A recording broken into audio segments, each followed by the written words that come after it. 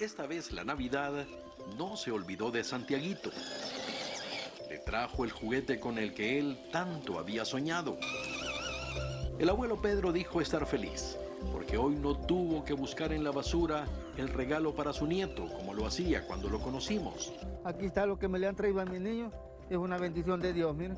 Aquí está la moto que me le han traído, bendición. Gracias a personas de buen corazón que se propusieron para que mi niño tuviera su Navidad.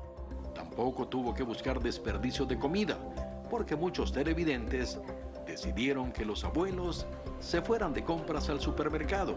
Echen, echen, echen, no tengan pena. La abuela Blanca dijo que todo le parecía un sueño y lloró, agradeciendo a quienes ayudaron a que sus deseos se hicieran realidad. No sé ni qué decirle. Triste, alegre. Yo digo, quizá ya me voy a morir.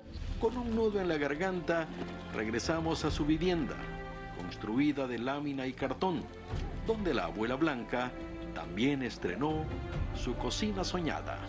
¿Cómo se siente con la cocinita? Me siento bien. Como que si estoy soñando. Como que si no fuera yo la que me veo aquí, que estoy sacando esta cocina, digo yo, será de verdad. ¿Será cierto? Pedro también recibió el dinero con el que podrá comprar las medicinas que le han recetado. Gracias a ustedes me siento feliz y contento porque nunca en mi vida he tenido esta bendición que hoy tengo. Dicen los abuelos que de amor también se llora, y más cuando ven a sus nietos estrenando los juguetes con los que ellos tanto habían soñado.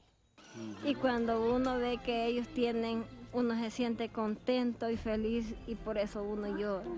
Contame, entonces ese botón es para encender. Sí, Ya. ¿Y este? Para adelante. para darle tos en él.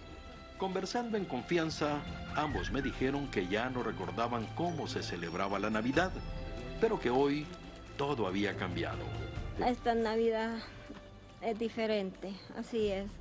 Es diferente esta Navidad. El amor del abuelo Pedro y el sueño de Santiaguito hicieron que el espíritu navideño inundara esta humilde vivienda. Y al menos por esta vez, todos tuvieron una feliz Nochebuena.